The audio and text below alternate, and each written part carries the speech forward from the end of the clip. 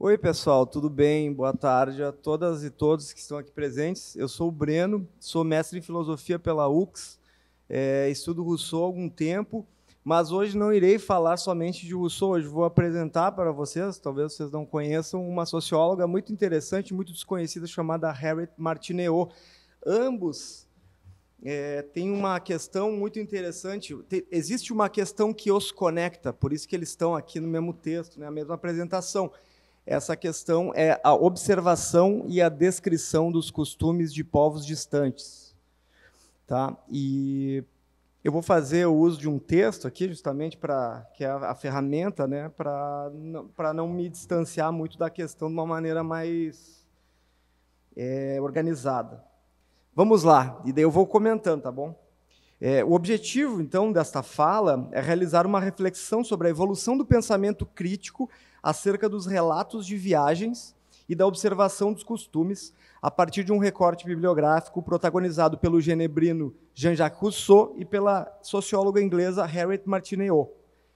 Rousseau possui um papel bastante importante no que se refere à crítica dos relatos de viagens e no anseio pelo aprimoramento da prática da observação e descrição dos costumes de povos distantes.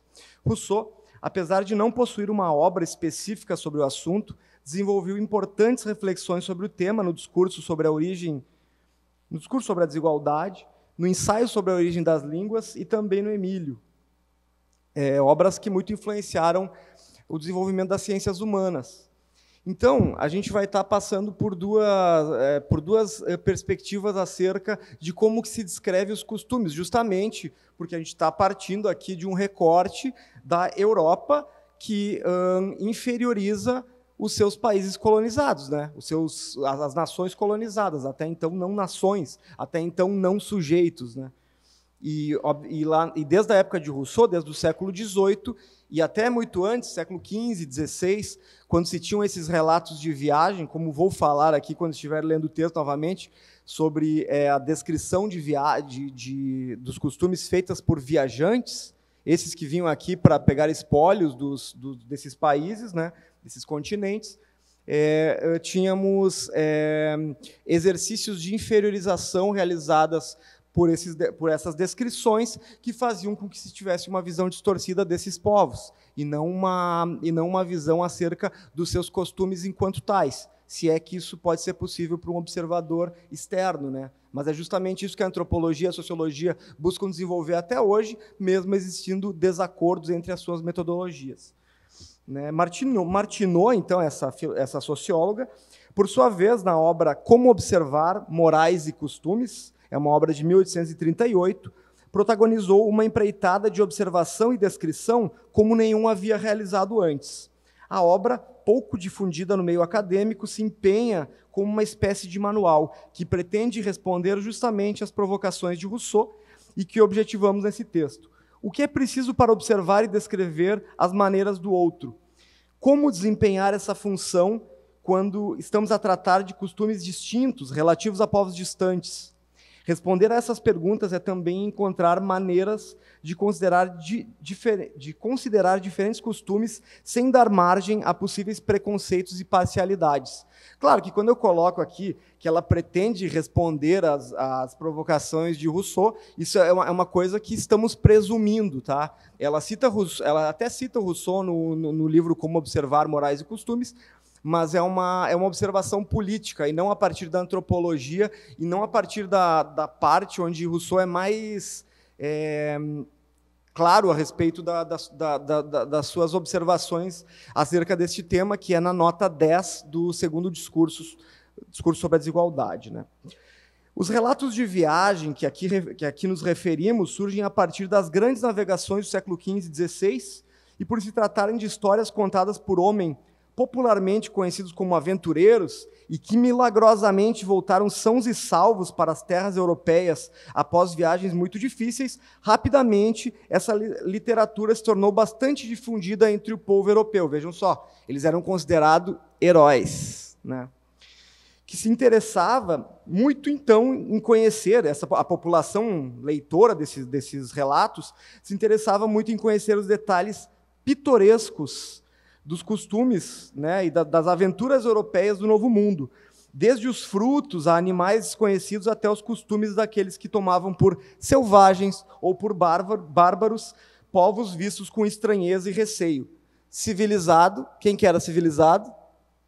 Somente aqueles que descreviam os outros. Né?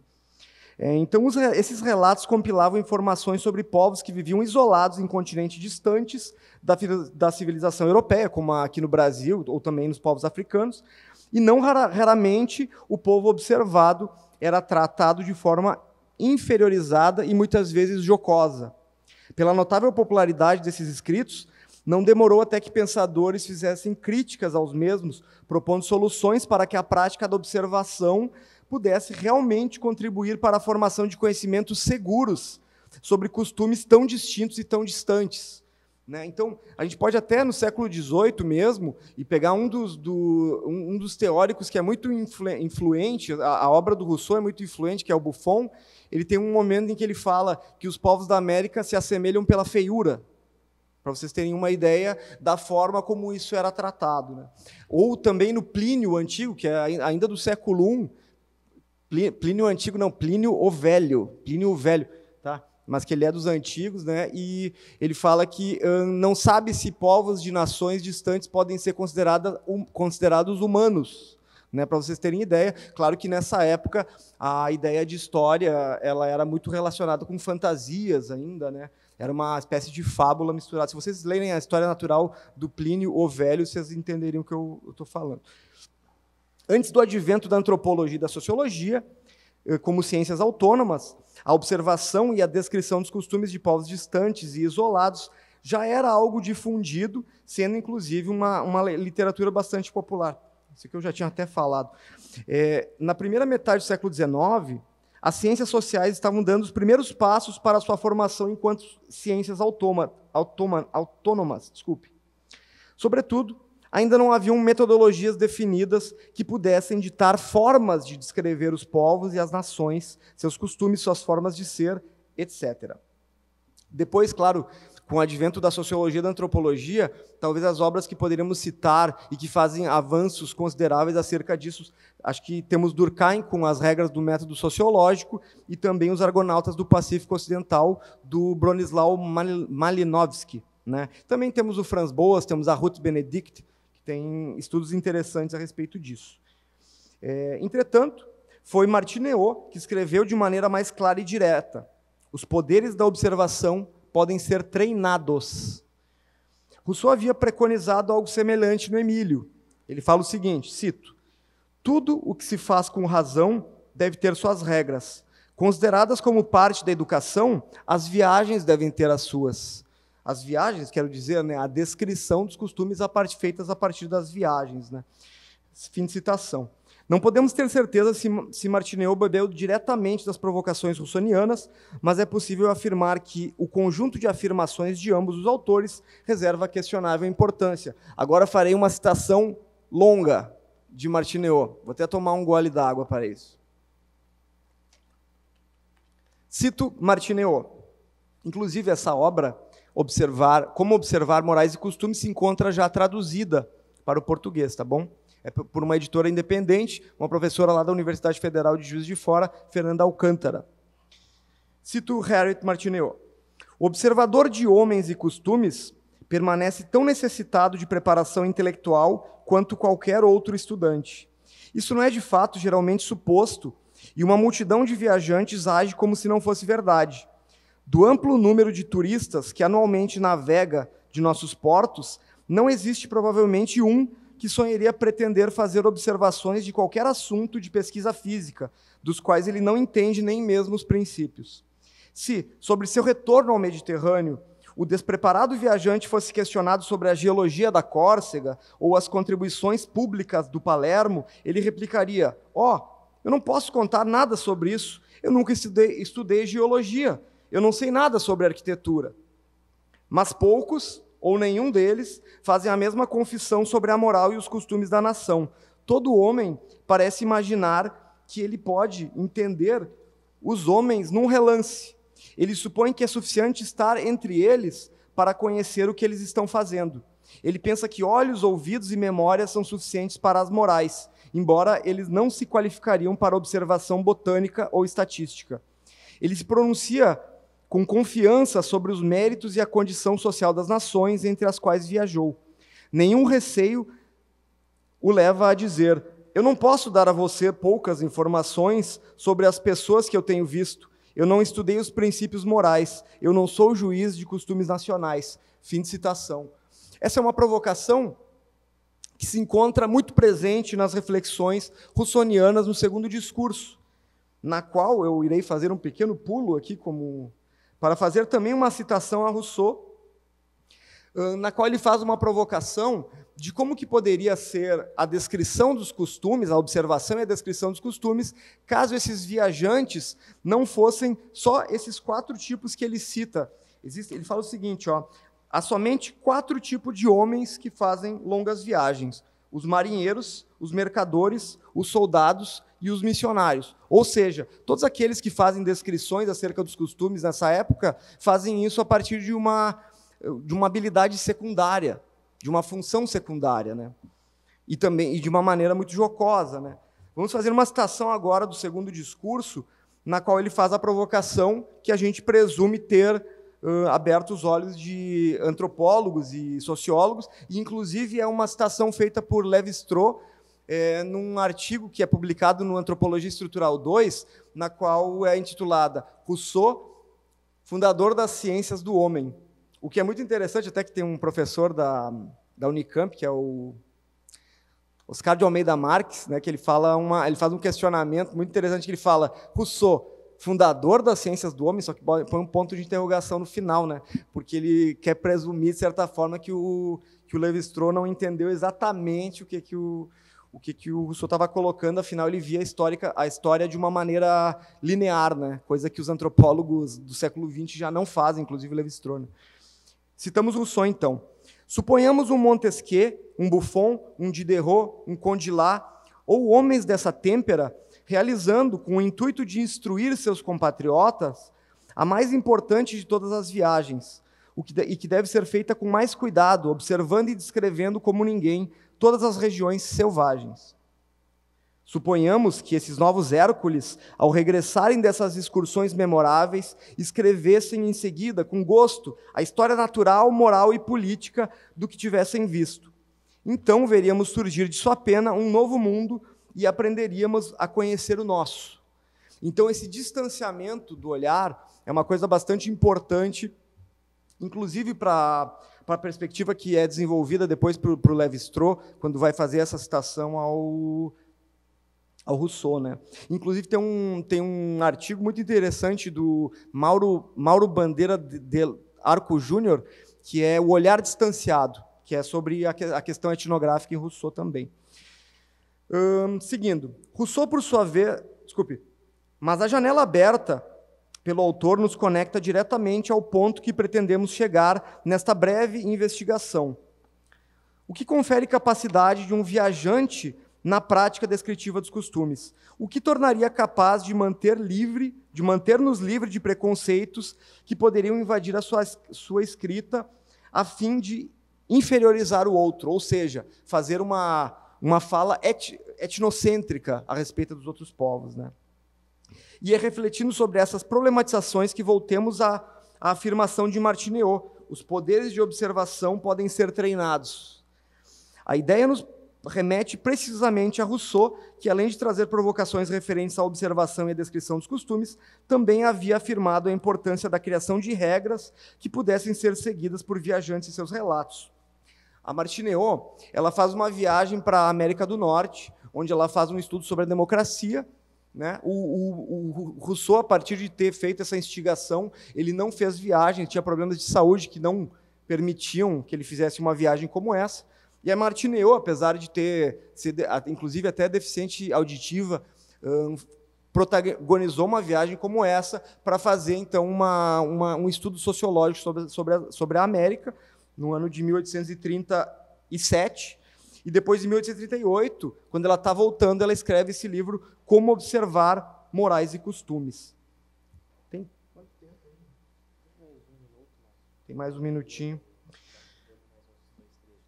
Tá certo. Eu vou fazer mais uma, uma citação agora, uma citação mais breve da obra de Martineau para a gente poder uh, refletir a respeito disso. Ela fala o seguinte: enquanto viajantes generalizam sobre morais e maneiras tão precipitadamente quanto eles fazem, provavelmente será impossível estabelecer uma convicção geral de que nenhuma nação civilizada é melhor ou pior.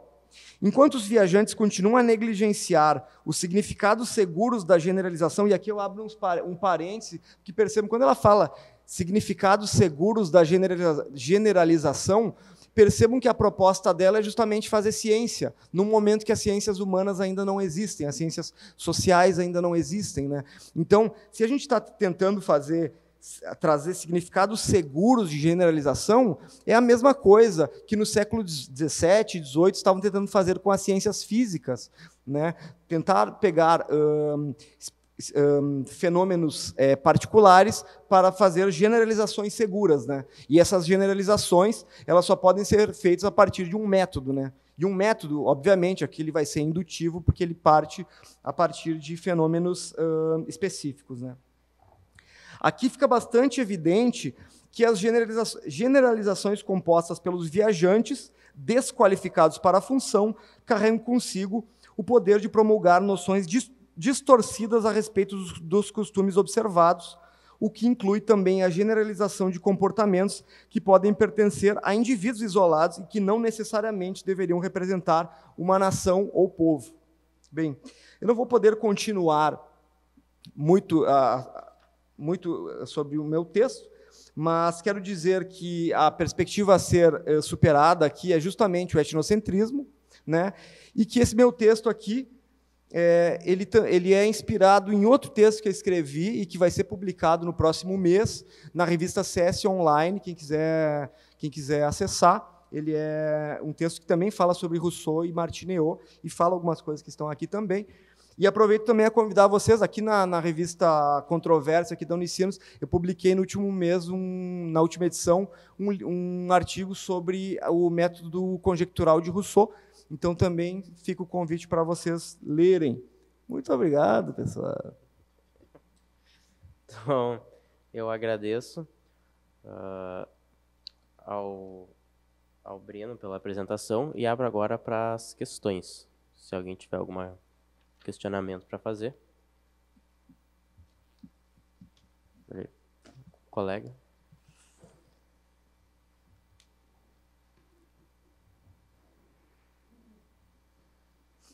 Bom, Breno.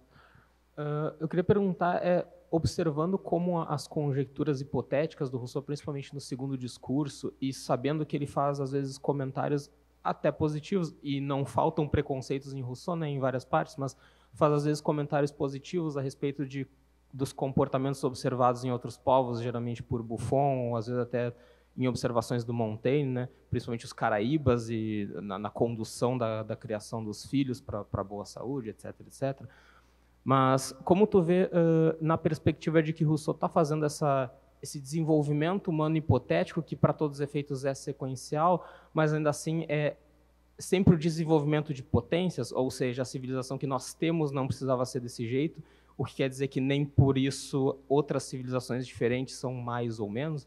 Se tu já vê isso como o início do descolamento desse etnocentrismo, se tu vê nisso em Rousseau como algo deliberado ou é simplesmente uh, a gente poderia estar tá jogando isso para aquela velha história do, da, da, acusação de saudosismo do Rousseau ao selvagem, né? que eu pessoalmente não concordo muito, mas que é, surge em alguns comentadores. Né? Uhum. Mais alguma questão? Cara, uh, parabéns pela apresentação, tá? Uh, muito é, é legal, né? A gente poder ter né, um evento desse essa essa interlocução entre diversas áreas do conhecimento, assim, tra né, trazer filosofia, trazer antropologia. E justamente nesse sentido, uh, te ouvindo falar, me veio à mente muito a ideia do perspectivismo e do multinaturalismo do Viveiros de Castro. Né? A gente estava falando muito sobre essa questão né, de, de, de, de construir pontes, né, construir né, uh, novos padrões e novas perspectivas epistêmicas. Eu acho que é muito interessante para uma pesquisa que, que visa analisar assim, os limites e as possibilidades da civilização a gente pensar também nos limites e possibilidades da própria humanidade, né? Porque um dos debates que mais permeiam, pelo menos a meu campo, que é os direitos humanos, é justamente o conceito de humano. E, e, o, e a partir do perspectivismo, né, que, que é a pesquisa que o, que o, que o Viveiros de Castro desenvolve com o povo araueté na Amazônia, né, sobretudo no Metafísicas Caribais, depois no, no perspectivismo e multinaturalismo na, na América Indígena, uh, eu acho que tem muitas coisas que podem ser casadas com o estudo né, que tu traz da Martineau e do, e do, e do Rousseau, para a gente analisar justamente as possibilidades uh, e os limites e as possibilidades do conceito de humano a partir dessas conjecturas. Né? Então, acho que fica aqui a dica, né, de repente, para né, a posteridade, de fazer uma conexão, né, fazer um, um estudo bem transmoderno, né, um estudo bem, bem de fronteira mesmo, né, fazendo essa conexão, né, Rousseau, Viveiros de Castro, e, né, e, e a partir né, e, e, trazendo esse, esse aporte da, da antropologia brasileira, que é muito importante, né? E, e fica também essa, essa, justamente essa, essa ideia assim de como se, se os, os, limites acerca dos limites das possibilidades do conceito de humano, né? Se isso não deveria ser talvez melhor enfrentado, qual é como tu pensa essa questão, né? Sobre, sobre o, o sujeito. Aqui não vamos nem falar sobre o sujeito de direitos, beleza? Vamos falar sobre o, o próprio a ideia própria do conceito de humano né, e as suas, até as suas próprias falibilidades a partir do, do, do próprio estudo de Rousseau, que, em tese, talvez poderiam até ser superadas ou poderiam ser uh, analisadas sob um outro prisma a partir do Viveiros de Castro. Beleza? Nossa. Mais alguma questão? Então, pode responder. Muito bem. Eu acho que vou acabar misturando um pouco a minha resposta às questões de vocês dois, assim. Eu, eu, agradeço os comentários também. É, primeiramente, é, a respeito dessa, dessa visão conjectural que é, que é tratada pelo Rousseau, eu acredito que eu acredito que essa questão ela está ela, ela tá muito num, num, num, primeiro momento da análise do, do, do, humano do humano em estado de natureza, assim, né? Porque quando a gente tem o humano socializado, né, o, o, o ser humano já vivendo a política, né, da a perspectiva antropológica que perpassa para a política no Rousseau, a gente já tem a gente já tem o homem incursionado na história, né? E esse homem, esse, esse homem histórico, ele já está atento aos fatos. Então é por isso que ele é por isso que ele vai estar tá tratando de revoluções, assim, né? Então essas civilizações, assim, né? E agora eu até acabo uh, entrando na, na, na resposta ao outro colega. É, que, sabe o que, que, que, eu diria? Que temos um, a, a, noção que, o, que é desenvolvida pelo Rousseau a partir da história da, e das, das civilizações, ela ainda é muito linear. Né? Então, se a gente tivesse como fazer uma interface com algum autor brasileiro, eu acho que seria o Darcy Ribeiro. Que o Darcy Ribeiro, a, a, naquele, naquela obra dele que acho que é acho que é Antropologia das Civilizações, não tenho, não tenho certeza, História das Civilizações, não me lembro, ele, ele faz uma. Ele, ele, tra, ele trata tanto do Engels quanto o. Eu não vou me recordar aqui, mas é, basicamente hum, ele tem uma visão linear e apesar de ele estar, tá, apesar do Rousseau estar tá, tá querendo ressignificar essa noção de povos civilizados fora daquele, daquela, daquele quadrado civilizatório que é tratado pelos europeus, ele não consegue se desvincular totalmente disso, né? Então ele ainda fala a partir, hum, principalmente até no, no, ensaio sobre a origem das línguas, ele deixa muito claro que ele tem uma noção sobre selvagem, sobre bárbaro e sobre civilizado. E o civilizado ele está justamente nos padrões, nos padrões europeus de concepção do que, que é a civilidade, né? Então, mas eu agradeço inclusive a tua, a tua incitação ao Viveiros de Castro que eu não li ainda, né? Então de repente pode ser uma oportunidade de estar fazendo conexões. A ideia de estar trazendo a Martineau para o Papa é justamente para tentar é, trazer à frente uma autora, mulher, que, não, que também não é muito conhecida no meio acadêmico, e poder estar trazendo também é, essa perspectiva. Né? Mas é isso, não sei se eu respondi, acho que ficou um pouco confuso, né? mas tudo bem.